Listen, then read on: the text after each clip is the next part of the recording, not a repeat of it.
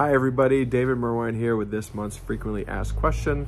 For the month of September, we are going to be answering the question, what is allowed in terms of cremation in the eyes of the church? So if you joined us for our July webinar, uh, we discussed this topic in depth. Uh, and if you want to uh, check that out, I will link that below uh, here in the newsletter. However, um, since then, uh, it seems we've gotten even more questions around cremation and what's allowed, uh, what should be done with cremated remains and all of that. So we're gonna do a quick recap of that here today uh, on, uh, on our newsletter FAQ, okay? So first and foremost, cremation is allowed in the eyes of the church and has been since Vatican II. Uh, July 5th, 1963, I believe is the date in which cremation officially became allowed in the eyes of the church and cremated remains were allowed to receive funeral and committal rites, which they previously were not allowed to. Okay, so that's kind of first and foremost. Now, another question that we get all the time is what should I do with cremated remains? So first and foremost, uh, when it comes to that topic, we want to make sure that we're keeping cremated remains together. Okay, so in 2016, Pope Francis issued additional instructions uh, to reinforce uh, cremation uh, being allowed, right? So still allowed. However, we want to make sure that we're not splitting cremated remains. So we're not taking the cremated remains and splitting them among family members and, and keepsake or companion urns or anything like that. We also want to make sure we're not scattering cremated remains, right? So not at, you know, grandpa's favorite cabin or at the beach where, you know, mom loved to be.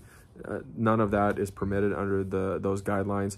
Uh, and also turning uh, any cremated remains into jewelry, right? That's a, a kind of a popular uh, fad or trend, if you will, um, that is not allowed in the eyes of the church. Again, with the idea that the human body is a temple of the Holy Spirit.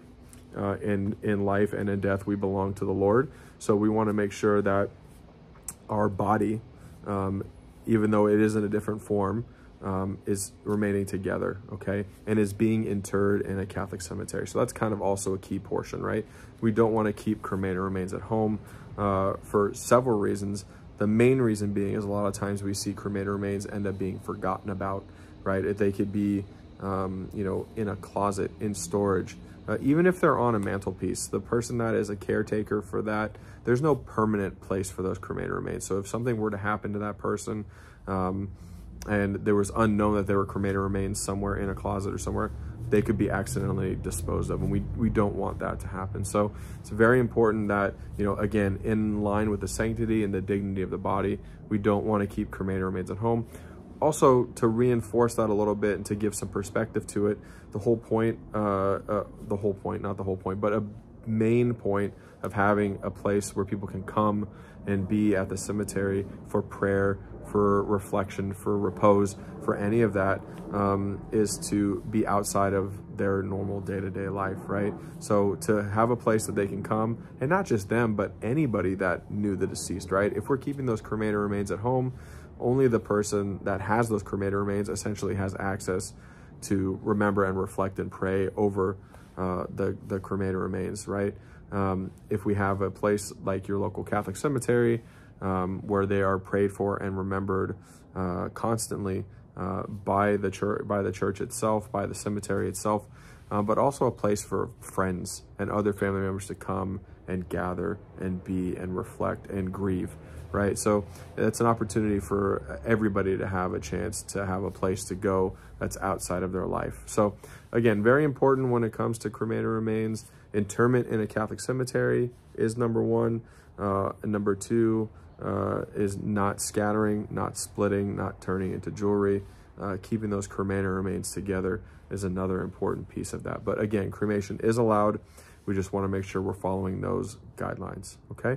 If you have any additional questions, you are always welcome to reach out to us at Holy Cross Catholic Cemetery or any of our other cemeteries.